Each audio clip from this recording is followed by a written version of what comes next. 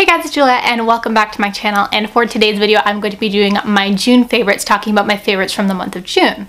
Basically, if you do not know, this is the video where I talk about all the kind of not books favorites of the month. If you want to hear um, about all the books I read, my wrap up will be coming out shortly, so look forward to that. And I've read a lot of great books this month, so I'm super excited to do my wrap up, but you can't pre-film wrap up, so I'm struggling over here. But Today I'm going to be talking about some of my favorites from this month. We'll start off with products. I only have two this month. Um, other than like the usual stuff that I've been loving anyways, I fell in love again with the Cover FX Enhancer Drops. This is in the color Celestial, and these are these little drops. It has one of those little eyedroppers, which I personally love these things. They're so nice, and it's a highlighter. Um, it's blinding. It's great. I would highly recommend them. Next, I also have like another thing from that video that I've been loving not necessarily this powder, but I've been loving baking my face, which is when you like put a shit ton of powder under your eyes and then like wherever you feel like it, you let it sit, you do other makeup and then you wipe it off at the end and it makes it look really pretty.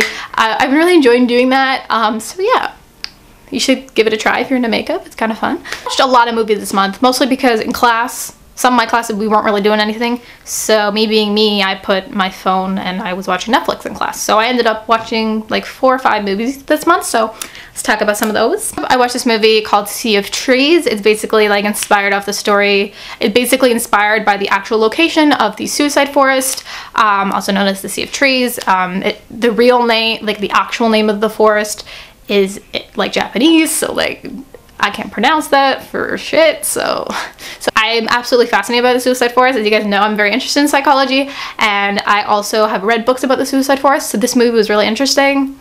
At first I expected it to be like blood, gore, bodies, and I was like, can't wait for this horror movie. Like I'm so excited.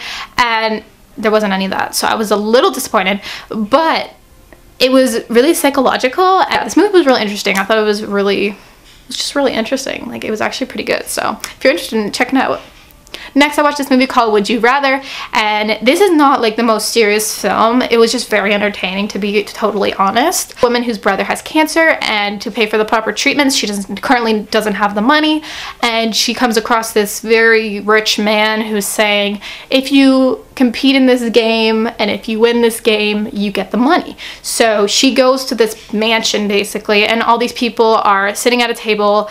Um, I believe there's like 12 of them or something, and they're all trying to compete for this money that they need and they have to do like it's like would you rather so but it's like deadly like it's very graphic so if you're not into that don't watch it but it's like would you rather i don't know i remember one of them was like them was like just some examples of what was happening was like holding your breath for like three minutes like they like dunk you underwater um, another one was like getting a blade and scratching your eyeball so yeah it was really good though very entertaining. I'd recommend it if you're looking for something like really entertaining and kind of like creepy-ish. So look into that. I have Oculus, which this movie was really interesting. It's basically one of those horror movies that's like about a mirror and brother and sister. And after so many years have passed, after their parents have are both dead, um, traumatic experience. One of them killed one of the other, and then like all this stuff happened, very complicated. But after so many years in the future, the brother just got out of the mental hospital and she is just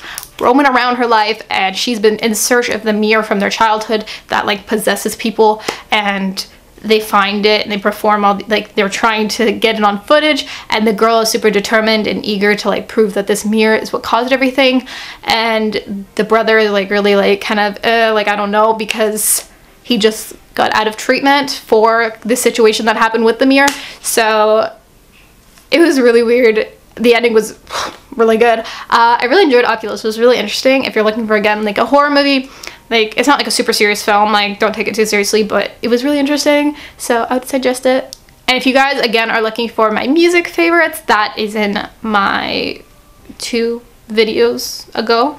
Um, it's my monthly mixtape, which I already uploaded, so check that out if you're interested. There you guys have it. Those were my June favorites from the month. Let me know your thoughts down below and some of your favorites as well. See you guys super soon with a new video. Bye! Queen for queen and move just like this. When you fall down know you're fine